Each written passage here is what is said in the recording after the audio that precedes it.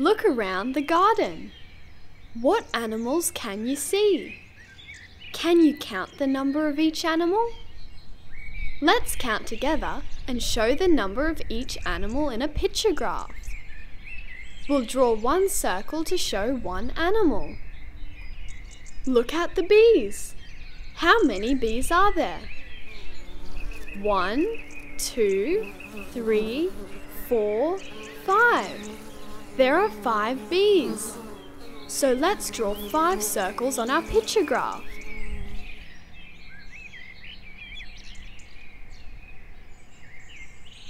Look, there's some ladybugs on that bush. How many are there?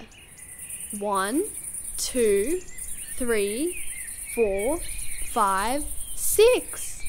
There are six ladybugs.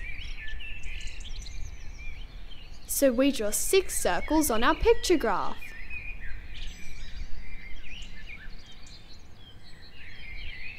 There are some butterflies. How many can you see? One, two, three. There are three butterflies. Draw three circles on our picture graph.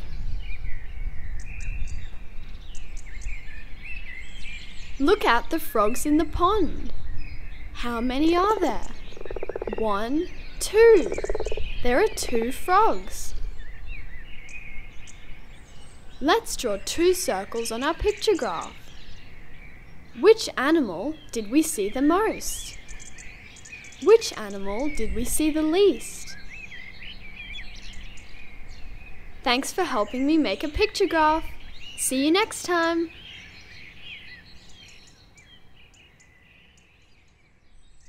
Don't forget to subscribe.